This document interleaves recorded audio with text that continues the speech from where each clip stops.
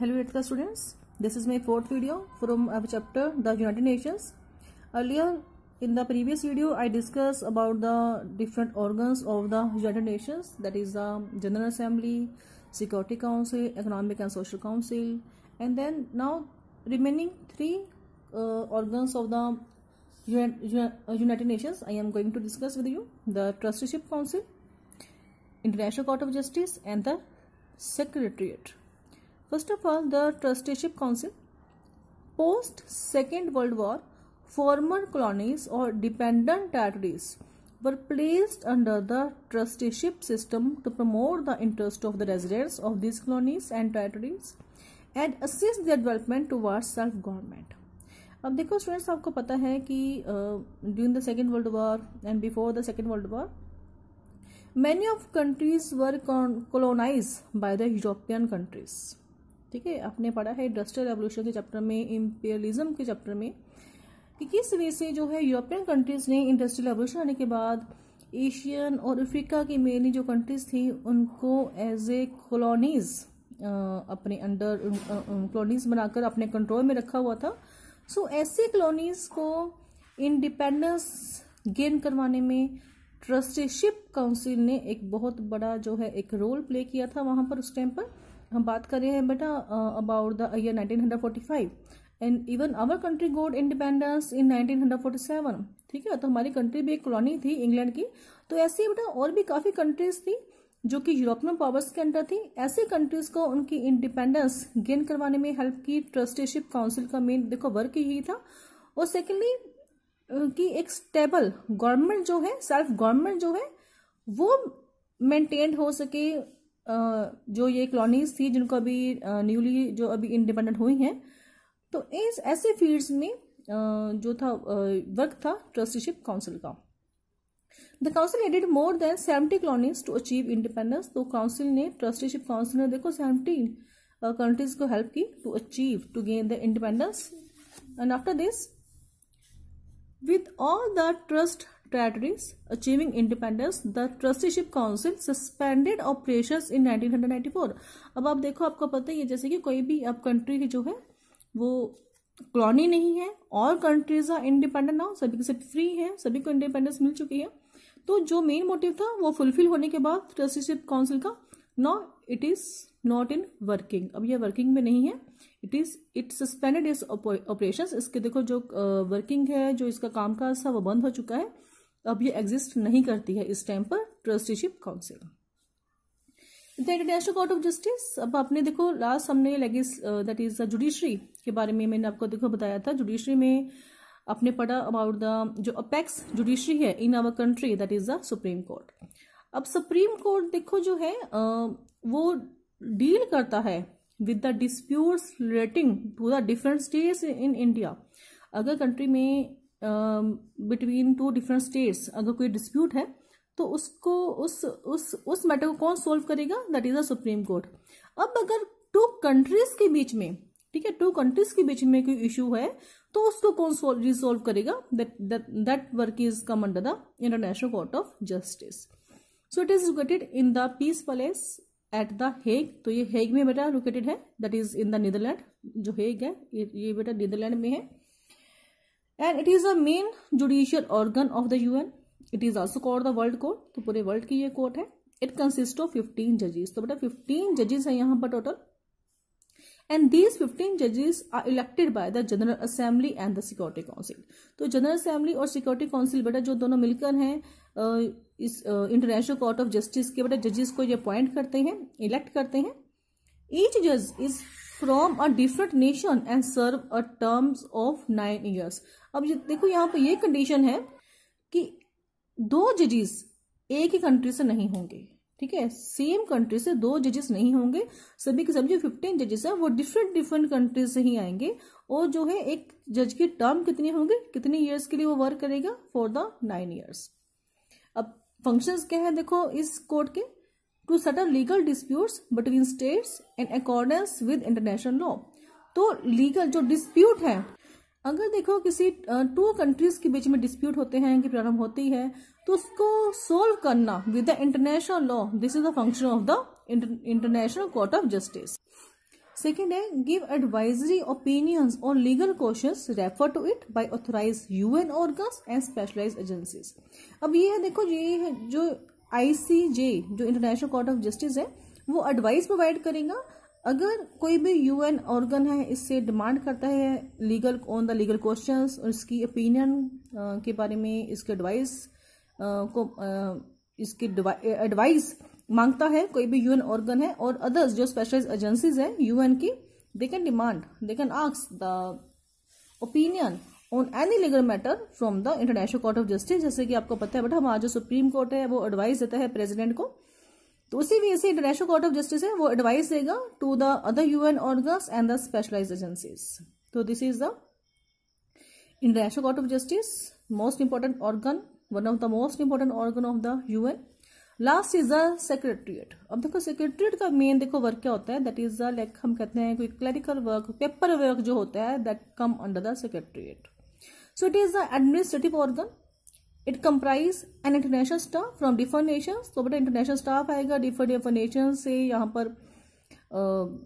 Workers आएँगे work करने के लिए who work at the UN headquarters जो कि यूएन का बड़ा हेडक्वार्टर्स डिफरेंट डिफरेंट प्लेसेस पर है. फ़र्स्ट ऑफ़ ऑल जो मेन हेडक्वार्टर है it is in the New York and other जो जो कि यूएन कॉप्सिस हैं like Geneva Vienna Nairobi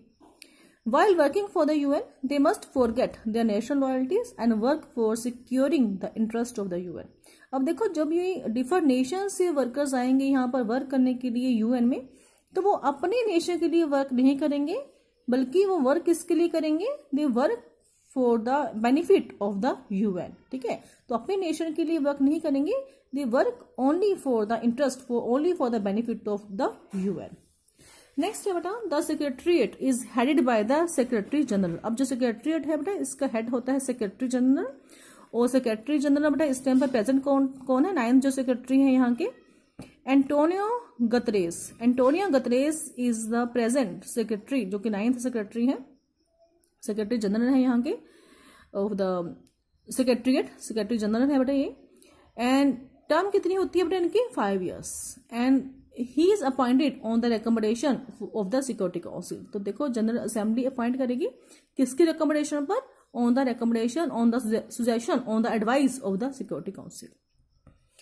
the secretariat implements decisions taken by various organ of the UN तो सेक्रेटरीट का देखो वर्क क्या है कि डिसीजंस को इम्प्लीमेंट करना, जो यूएन ऑर्गन्स ने, जो अदर यूएन यूएन ऑर्गन्स ने, जो भी डिसीज़न लिए हैं, उसको वर्किंग में लेकर आना।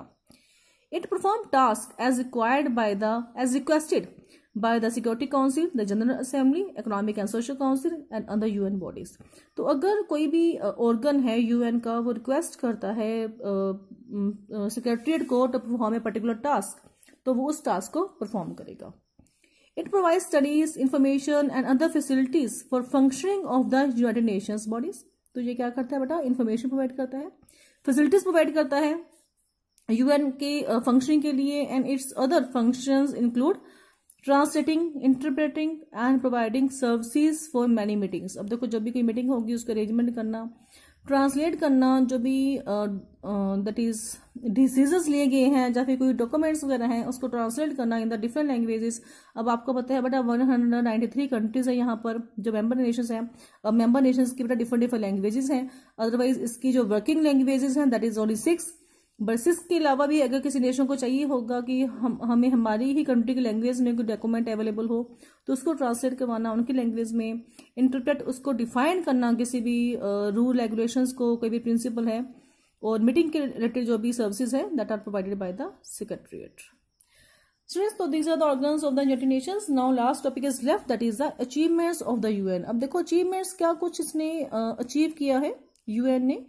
Means what it did for our world. So since its inception, inception means establishment. तो establishment means इसके बनने के बाद 1945 में जब ये वर्किंग में आया था the UN has taken effective steps to restore and maintain world peace तो मेन काम क्या था इसका वर्ल्ड पीस को मेंटेन करना So some of the significant achievements of the UN are first of all maintaining peace and security.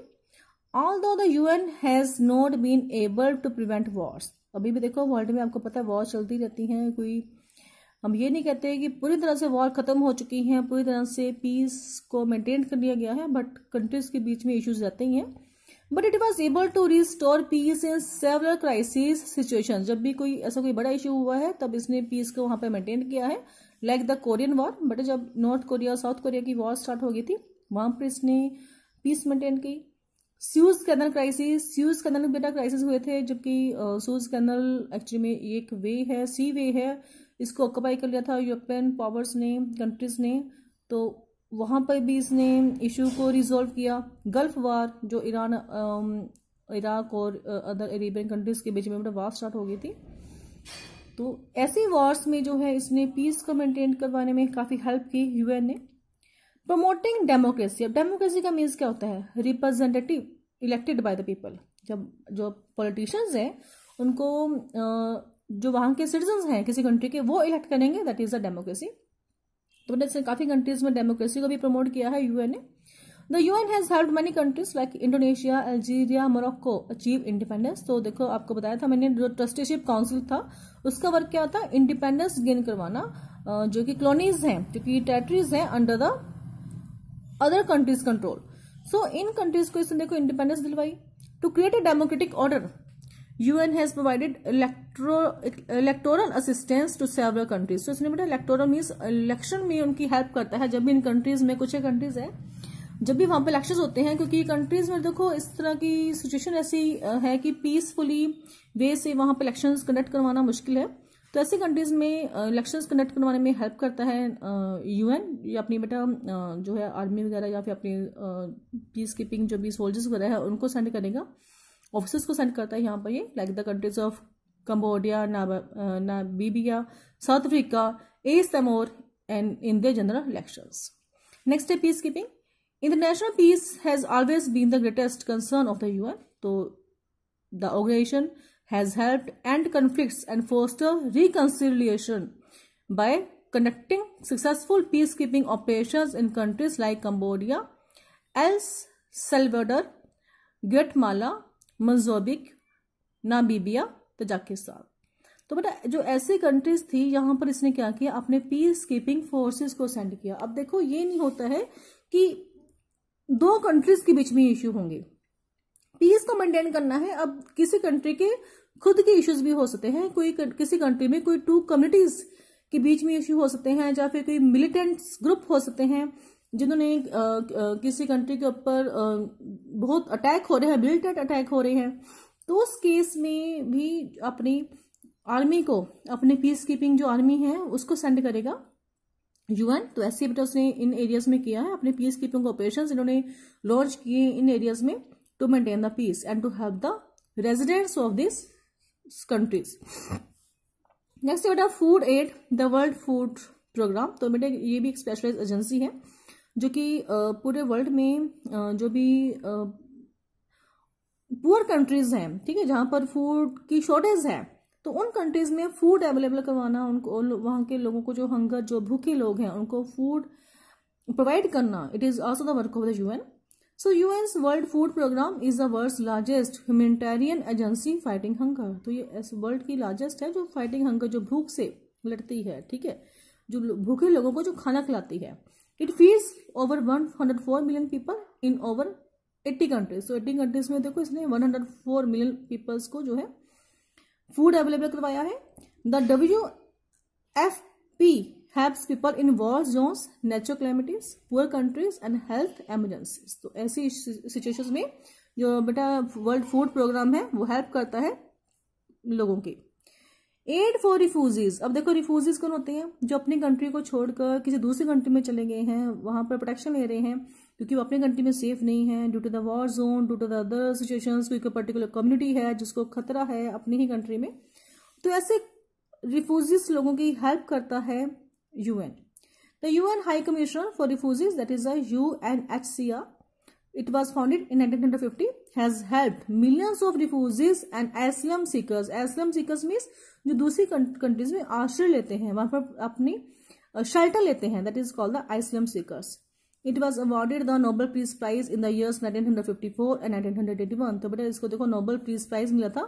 And UNHCR को 1954 में और 1981 में अब इनका देखो मेन वर्क क्या होता है यहाँ पर? जो भी, जो ये रिफ्यूजेस होते हैं, उनको होम अवेलेबल करवाना, उनके बच्चों को एजुकेशन प्रोवाइड करना, उनको फ़ूड एम्प्लॉयमेंट जनरेट करवाना तो these are the works of the works तो जो यूएन है, वो ऐसे बेटा फ़ंक्शंस को अटेम्प्ट करेगा for the refugees protecting children so children protection के लिए और मदर्स की प्रोटेक्शन के लिए बेटा ये वर्क करता है दैट इज़ और इसकी एक स्पेशल एजेंसी है। The United Nations children's fund. So the United Nations children fund protects the rights of children and address the long term needs of the children and women in developing countries. जो developing countries है, वहाँ पर बच्चों, जो छोटे बच्चे हैं, उनकी क्या जरूरतें हैं, उनकी जो मदर है, वुमेन है, ठीक है, उनकी क्या रिक्वायरमेंट है, उसको फिलफिल करवाता है यूएन ताकि वो कहीं पर उनका एक्सप्लाटेशन ना हो, बच्चों का या उनकी मदर का वुमेन का एक्सप्लाटेशन ना हो, उनसे बेगार पर काम ना करवाया जाए। उनको अच्छी हेल्थ फैसिलिटीज़ प्रोवाइड करना, उनको एजुकेशन प्रोवाइड करना बेसिक नीड्स अवेलेबल करवाना। So being the world only global organisation addressing and resolving issues that transcend national and international borders has always been the foremost concern of United Nations तो means ये पूरे world में बेटा only यही एक global organisation है, जो ऐसे जो मैटर्स हैं, चाहे वो नेशनल लेवल पर है, चाहे वो इंटरनेशनल लेवल पर है, उनको सॉल्व करता है रिसॉल्व करता है। From its its initial goals of safeguarding peace protecting human rights and encouraging economic and social progress अब देखो जो इसका मीन्स इनिशियल मीन्स इसके जो बिगनिंग बिगनिंग में इसके गोल थे एम थे पीस को मेंटेन करना ह्यूमन राइट्स को प्रोटेक्ट करना इकोनॉमिक एंड सोशल प्रोग्रेस करना। अब क्या है? It added more challenges to its profile इसने कुछ एक और चैलेंजेस एक्सेप्ट किए हैं like tackling the issue of climate change जब आपको पता बेटा ग्लोबल वार्मिंग आ चुकी है क्लाइमेट चेंज हो रहा है तो उस इन इश्यूज़ को भी इस ये ट्राई कर रहे हैं टू रिजोल्व दीज इश्यूज़ ताकि वर्ल्ड को प्रोटेक्ट किया जा, जा सके. फाइटिंग एड्स जो एक डेडली डिज़ीज़ है उसके रिलेटेड भी ये लोगों को अवेयर करता है. Providing access to basic right such as education health care employment and freedom of movement तो जो ऐसे बेसिक राइट्स हैं of the people in the world उनको प्रमोट करना, उनको प्रोवाइड करना this is also the one of the function now is this during this time of the U N so student this is all about chapter our chapter is completed hope you understand it have nice goodbye all of you